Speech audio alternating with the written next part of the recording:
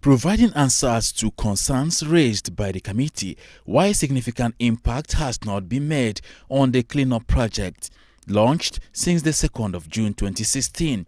Minister of State for Environment Ibrahim Jibril explained some steps being taken by the federal government.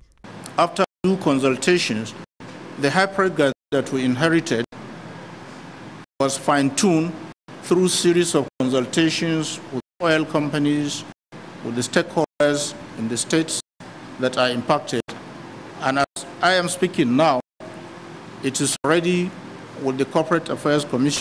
The committee is also worried about the ministry's capacity to drive the project, the financial commitment of international oil companies, and the time frame. The UNEP study, amongst other things, showed the nature and extent of oil contamination and covered contaminated land, groundwater, surface water, sediment, vegetation, and provide clear operational guidance as to how that could be addressed. Why the committee resolved to visit the Niger Delta area and continue to engage concerned entities on the matter, it assures a comprehensive review of existing legislation on environmental issues.